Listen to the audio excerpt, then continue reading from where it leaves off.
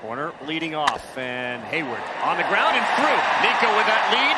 He's rounding third. Here's the throw home. Molina way out to cut it off to second, not in time, and he holds the bag. That's time the base running of Heyward paid off. Hoerner's in, and the Cubs got a 2 0 lead against Wainwright and the Cardinals. Let's give a lot of credit here. Jason.